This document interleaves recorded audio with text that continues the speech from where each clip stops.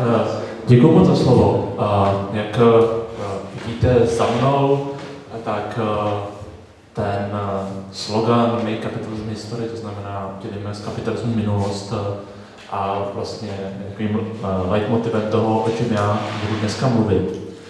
To heslo vzniklo před pár lety a stalo se takovým velmi populárním sloganem a, a není, to, není to úplně náhoda, protože my už od uh, roku 2008, kdy vlastně proběhla nejhorší krize od takzvaného černého pátku na Yorkské burze uh, v říjnu 29, tak čelíme jako hluboké, dlouhodobé, systematické krizi kapitalismu.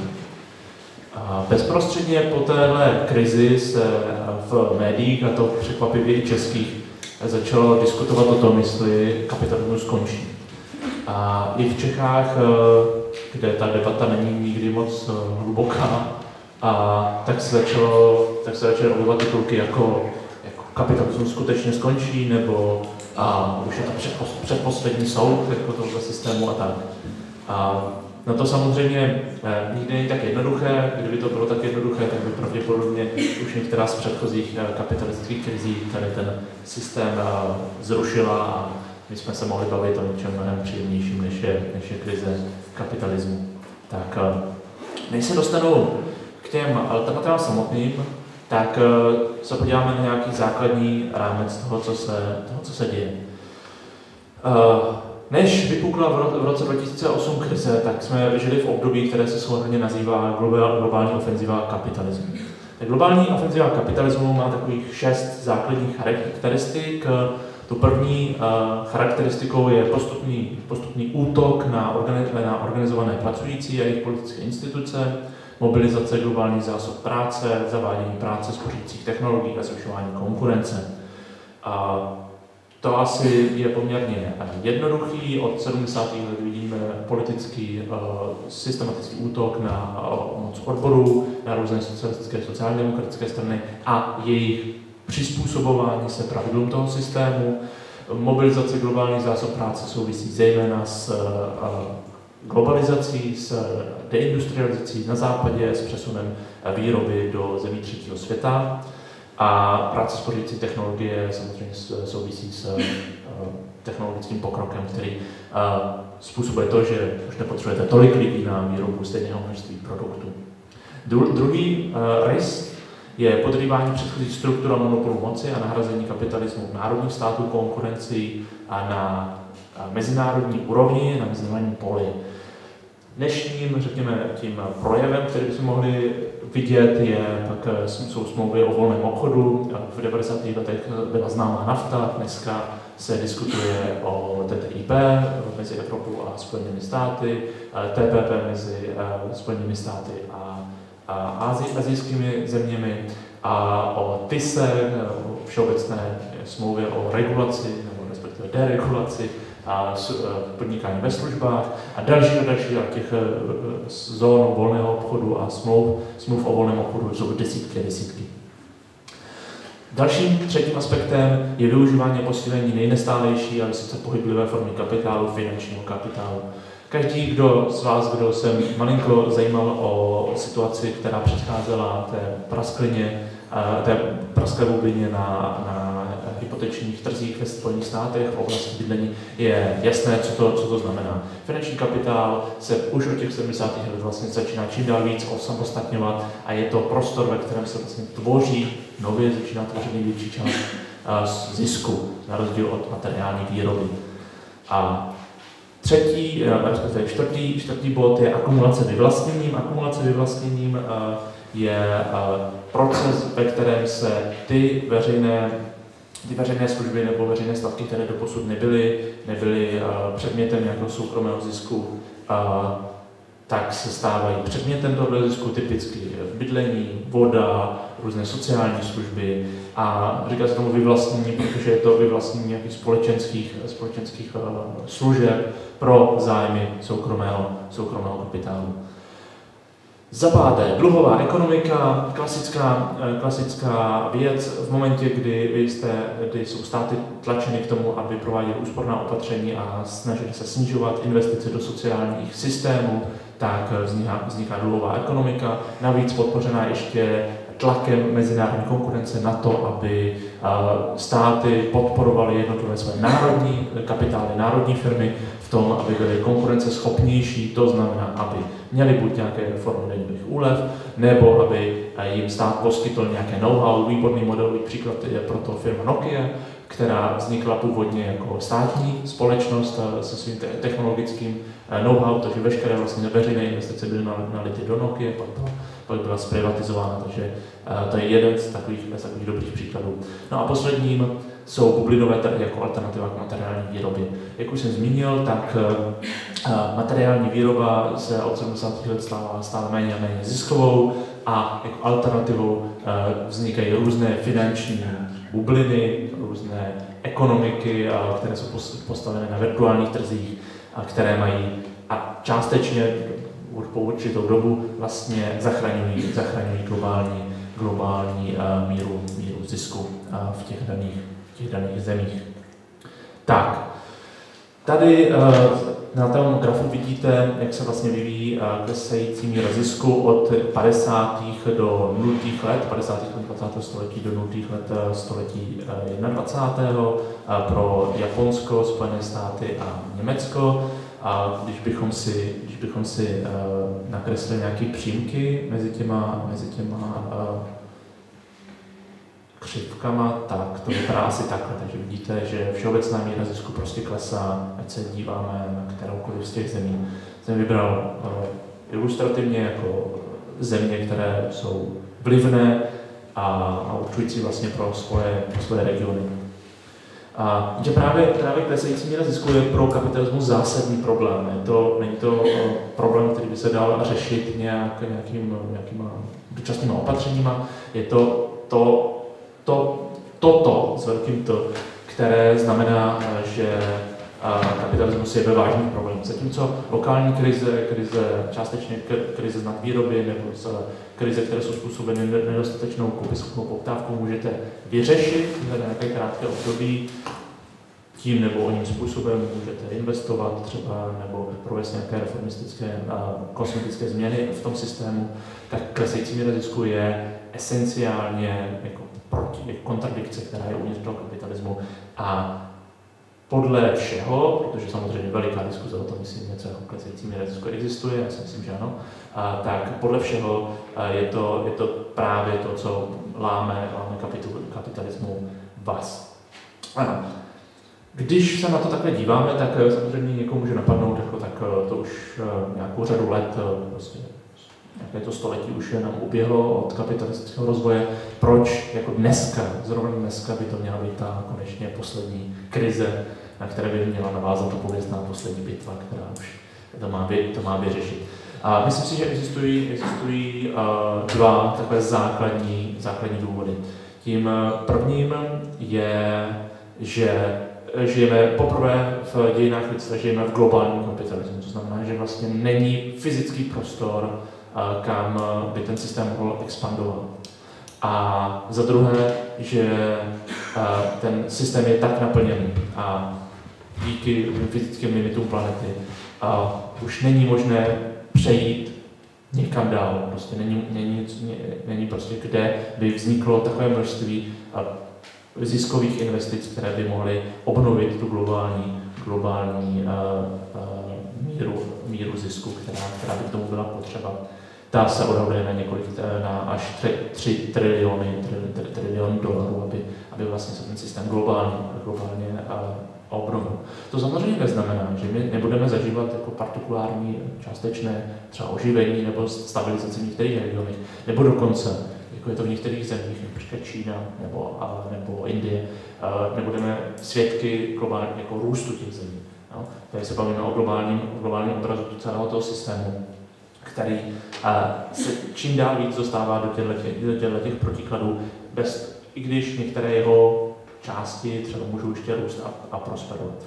A jedna z takových častých námitek je, tak dalo by se investovat třeba do Afriky. Ne? Afrika prostě by mohla, mohla zažít obrovský růst. Problém je, že Taková míra investice by byla možná jenom v státním kapitalismu, který by pokrýval celou planetu.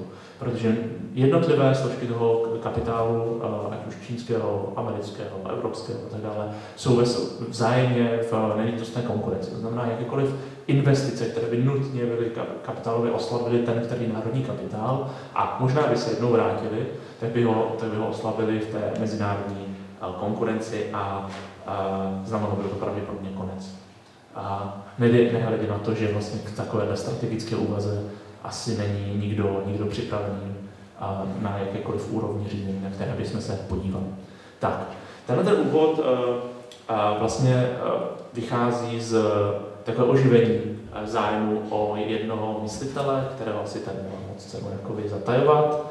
A, a, a ten vlastně ta epocha, kromě toho, že se říká epocha jako nové, nové globální krize, tak se taky uh, vyznačuje tím, že se objevuje něco jako Marx Reloaded uh, v odkazu na známý, známou trilogii filmu Matrix. A na tom obrázku vidíte dvě postavy, jednu detailu, jednu teda. To známá scéna z Matrixu, možná si to pamatujete, první část, kdy a hlavní, hlavní hrdina se poprvé dostane do té virtuální reality a je mu nabídnuta možnost, jestli teda v ní chce zůstat nebo ne. A akorát, že zde hlavní hrdinu vystřelal Karel Marx, který je vpravo po vaší pravici v křesle a dívá se na Lva Trockého, který mu teda nabízí a v tom detailu tu červenou pilulku, která ho má tady probrat a vnést do, do skutečného světa. No? To ten skutečný svět je svět kapitalistické krize a toho, že na rozdíl od toho, co se nám říkalo, a, a nežijeme v, na konci dějin ani v nejlepším ze všech možných světů, ale žijeme ve světě, který je zmítán válkou a kapitalistickými krizemi. Tak když se bavíme o Marxově analýze, tak aby jsme v Čechách vůbec byli schopni jakoby začít vstřebávat uh, tu kritiku, tak je třeba říct, že uh, Marx a marxismus, tak jak ho chápu já, jak ho chápu my v socialistické solidaritě, nemá nic společného s minulým režimem. Uh, uh, rozhodně uh, se držíme hesla, nebo sloganu, který Marx razil, a to, že emancipace pracujících musí být čin pracujících samotných. A marxismus je pro nás zejména metoda, a jak pochopit svět a jak ho, jak ho změnit. A konec konců známá, známá Marxova teze uh, z tezi o Feuerbachově je, že filozofové do posud svět jenom vykládali, jde však o to, jde však o toho změnit. Ten důraz uh, klade Maximus především na to, co dělat, to znamená, jak ten svět změnit. Není to jenom nějaká teoretická úvaha, nějaká filozofie, nějaké filozofické dílo, které by, které by uh, se dívalo na svět trošku jinak, než to dělaly jiné teorie. Naopak, dívá se na to, kdo může být v jádru toho systému, systému tím aktérem, který může změnit ten svět. No a tou odpovědí je, že jsou to námazně pracující, jsou to lidi, kteří pracují za mzdu. A proč zrovna, proč zrovna tyhle lidé? No, je, ta otázka, ta odpověď je jednoduchá, protože jsou to oni, kteří jsou v jádru té materiální výroby. Přesně tyhle ti lidé, jako jsou, jako jsou lidi z automobilek, jako jsou lidi uh, prodavačky, prodavači, jako jsou lidi ve školách, prostě všichni, kteří obsluhují ten systém a pracují v něm. Bez nich by se ten systém zastavil. Kdyby lidi uh, na celém světě vstoupili do stávky, všechno se zastaví. No, představte si tu situaci v stávkách, elektrárnách, všechno zhasne. No, když budou lidé stávkovat, nepojedou tramvaje, nikdo vám nepřiveze mlíko. Je to přesně jejich strategická pozice, pozice námezně pracujících, kteří můžou změnit, uh, změnit ten systém. A co to jenom oni, kteří to můžou udělat právě protože stojí v jeho, v jeho jádru. Tak, jak už jsem říkal, uh, jsme na druhé straně v systémové krizi kapitalismu neexistují nové investice a historicky jsme překonali a to, to stádium, kdy je možné expandovat je naplněný ten prostor a jediný, jediná forma, kterou kapitál ještě má, aby obnovil nějakou, nějakou svoji ziskovost, je kromě finančních spekulací, které jsou velmi rizikové a skončily právě tou krizi v roce 2008, tak je, co je politika austerity, politika škrtů, kterou my zažíváme v Evropě pořád. No, v některých zemích třeba už ne tak jako drasticky, jako to bylo, ale to pořád platí. To vlastně jediná sféra, do které se dá ještě jít, aspoň, aspoň v Evropě, to znamená snižování, snižování mest a privatizace veřejných služeb tam, kde, tam, kde je ještě možné privatizovat. Tak. A když uh, si podíváme na tenhle obrázek, tak zjistíme uh, to, co, nebo máme pocit takový, který uh, Slavoj Žižek popisuje tak expresivně VR in a deep ship. Uh, že, že, že jsme až pokrk, po, pokrk ve stračkách. Tak uh, ano, to je pravda. Na druhou stranu, na druhou stranu vždycky existuje, vždycky existuje alternativa.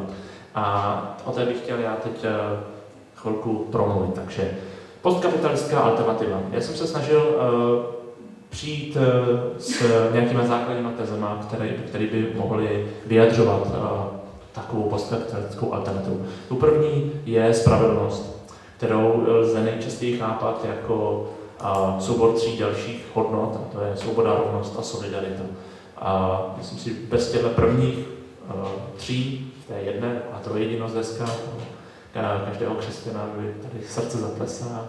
A tak, eh, tak vlastně pro mě není možné mluvit o nějaké pozitivní a postkapitalistické alternativy. Samozřejmě může být spousta velmi eh, nepěkných eh, postkapitalistických alternativ, ale na ty si můžeme zajít do kina a zrovna teď dále jako určitě nějaký, nějaký film, který pojedná o nějaké jako katastrofě nukleární třeba. Kde... Ano, no, výborně, skvěle. Jsem nechtěl dělat reklamu jako prohnilému filmu, ale, ale takže, takže samozřejmě já jistě najdete spoustu, spoustu jiných filmů, které prostě popisují situaci, kdy se lidstvo dostalo do nějakého kvazi barbarského zase způsobu života. Ten druhý, uh, druhý princip je efektivita. Efektivita znamená nemrát aktivama, nemrát uh, lidskýma silama, zdrojema planety. Není to efektivita v tom starém slova smyslu, respektive v tom kapitalistickém slova smyslu, protože jejich efektivita je efektivita, která má v zisku. A naše efektivita by měla být eh, efektivita, která povede k rovnostářské, udržitelné a spravedlivé společnosti. Další eh, z principů je demokracie. No, demokracie těžko může být eh, nepřítomná v nějaké progresivní a postkapitalistické alternativě, protože demokracie je ústřední hodnotou toho, co ctíme, ať už se, ať už se snažíme o to organizovat se proti náckům, kteří jsou jasný pokračí jako jakéhokoliv demokratického principu, ať už prostě organizujeme hnutí proti eh, škrtům, ať už eh, organizujeme cokoliv, tak vlastně princip demokracie a participace je eh, něčím, co je přítomno v naší každodenní politické praxi. No a samozřejmě udržitelnost, protože je těžké přesvědčovat a mluvit o nějaké alternativě, která by nebyla udržitelná. My si můžeme vysnít slušné zámky, ale když taková věc nebude fungovat, když prostě nebude nebude moc realizovat, tak to zůstane na papíře. A v tomhle je vlastně trošku náš distanc od jako lidí, kteří sednou za stůl a nakreslí to, jak by to mělo být. My si myslíme, že ta skutečná alternativa musí zejít se skutečného hnutí z dola, kdy lidi, kteří žijí ten svět, fungují v něm, tak přichází s tím, jak ho, jak ho lépe, lépe organizovat. Samozřejmě jsou nějaké principy, o kterých budu mluvit, ale nikdo tady asi nemá ten takzvaný blueprint, ten plánek, podle kterého byste jenom splnili 1, 2, 3, 4, zasunuli zástrčku A do zásuvky B a všechno se rozsvítilo a fungovalo. Tak. A když se bavíme o postkapitalistické alternativě, tak my, naším modelem je socialismus z dola. Proč, eh, proč socialismus dolá? Protože si myslíme, že eh, ten systém může vzniknout jenom aktivitou obyčejných pracujících z dola, protože Marx koncipoval ten svůj socialismus jako sebe, proces sebeemancipace. A když eh, se podíváte na historii 20. století, tak bylo spousta stran organizací, které v zájmu dělnické třídy vyhlašovali socialismus a zaváděli ho. No a jak to dopadlo? Dopadlo to diktaturou jedné strany nad celou společnost. Právě proto, že ten, ta postkapitalistická alternativa musí zahrnovat principy demokracie, rovnosti, solidarity, tak musí být dílem těch lidí samotných. Oni to musí brát jako svoji věc. A v rámci tohle systému samozřejmě bude spousta proudů, bude spousta diskuzí o tom, jaká dál v tom kterém uh, ohledu, v té které věci. Nicméně bez toho, aniž by se sami ty lidi zapojili. A v tom procesu zapojení, v tom procesu, jak budou usilovat o, o, o vznik této společnosti, aby se učili, jak vlastně vládnou, učili se politice, No, to, co jsme slyšeli minul, eh, včera v Orožavě, prostě jak se obyčejní lidé nejenom, nejenom eh, chopili zbraně, bránili se bez, před bezprostředním ohrožením ze strany ISIL, ale i jak se naučili organizovat místní, místní výbory, a združení a ty schromáždění, na kterých diskutují, tak to je všechno proces, který vede vlastně k tomu, aby vůbec něco takového jako socialismus dola, definovaný jako sebeemancipace lidí, byl možný. Druhý uh, důležitý bod je v tom našem pojetí, že tahle ta koncepce socialismus dola je revolucí proti státu. To dneska v, v uh, období austerity, kdy vlastně sociální stát je oklešťován zní jako uh, taková dobrá neoliberální teze, ne? jako zrušíme stát, ne? tak to je skvělý, takže bychom mohli tady Kalouska pozvat, tam by určitě zatleskat. A, no, ale to není, to není samozřejmě naše, naše, naše verze revoluce proti státu. A, a protože my dneska samozřejmě bráníme sociální stát jako, jakožto určitý výdobytek nějakého historického vývoje proti, proti nespoutaným silám volného trhu. A naše revoluce proti státu znamená, že chceme vytvořit nové, demokratičtější těleso, těleso, které bude zahrnovat právě to angažmá lidí z dola, síť různých komun, schromáždění, dělnických rad, které budou vzájemně koordinovat a diskutovat o tom, co a jak se dál, eh, co jak se dál bude dělat. A jak už jsem zmínil, tím činitelem, tím aktérem, který, to, který může eh, přinést pro tu změnu, a jsou námezně, eh, námezně pracující. Oni nejenom tedy, že jsou uvnitř té materiální výroby, ale ještě navíc a jsou koncentrovaní na těch, na těch pracovištích. To znamená, zároveň to není tak, že by někdo z nás byl málo odvážný nebo měl málo entuziasmu. Někteří z nás mají spoustu entuziasmu, někteří moc, ale a je to tak, že vy proti organizovanému nepříteli, a jako je stát, jako centralizovaný stát, tak potřebujete kolektivní sílu lidí, kteří jsou na pracovištích, kteří se dennodenně potkávají, kteří můžou společně tu, tu společnost řídit, spravovat. To prostě nemůžete udělat jako sám, to může, nemůže udělat nikdo sám od počítače jen tak, že by, že by se rozhodli, že teď jako bude, bude něco kontrolovat. No a institucionálně znamená socialistická přeměna vznik systémů dělnických, sousedských, uličních a jakýkoliv dalších rád. My jsme v viděli celou, celou řadu, celou řadu těchto těch příkladů, které, které vznikaly právě, právě na, v revolučních situacích. No, ale tím klíčovým požadavkem, který stojí v, za, tím, za, za tím sloganem antikapitalistické perspektivy je dělnická kontrola, nebo kontrola pracujících. Tak, eh, já bych řekl, že ten požadavek na dělnickou kontrolu je zároveň revoluční a zároveň jako plný rozporu. A proč, proč eh, je zároveň revoluční a zároveň plný rozporu? Protože samozřejmě záleží, eh, záleží na tom, v jakém kontextu se požadavek dělnické kontroly vy, vy, vytyčuje. Tak, my si můžeme nakrásně představit totiž dělnickou kontrolu, která probíhá v rámci jinak kapitalistického systému. No, eh, třeba jugoslávský model byl typický státně kapitalistický systém, ve kterém uvnitř byla určitá míra, určitá míra dělnické kontroly. A často vznikaly okupace továren a byla to zaváděna dělnická kontrola v situaci, kdy ostatní jako politické prostředí zůstávalo naprosto nedotčené. No a naopak revoluce vznikají a jejich první požadavky málo kdy, aspoň u té jedné, o které ještě budu mluvit, na začátku byla dělnická kontrola. Ta vlastně přišla z dola až jako požadavek těch pracujících samotných. A tím prototypem, o kterém e, jsem e, se zmínil, tak je samozřejmě ruská revoluce, a která je příkladem a prototypem, fakt prototypem pro, pro požadavek dělnické kontroly, protože v ruské revoluci 1905 poprvé vznikly Sověty jako orgán koordinace různých stávkových výborů. To nebyl žádný orgán revoluční moci z začátku. No, to, a obyčejní dělníci to ne, neustanovovali, protože chtěli, chtěli revoluci, ne, ale potřebovali nějaký efektivní orgán na to, aby koordinovali jednotlivé stávky v Petrohradě a mohli se dohodnout, kdy společně budou stávkovat. Ta instituce samozřejmě potom prošla uh, změnou v roce 1917 v únoru a pak v říjnové revoluci, kdy se stala explicitním vyjádřením politické vůle nejenom ke změně z autokratického carského režimu do, do buržázní republiky, demokratické republiky, ale potom dál ještě do socialistické republiky, kdy dělnické, rolnické a vojenské rady byly páteří, měly být páteří eh, nového, nového, nové, nové, nové ruské republiky.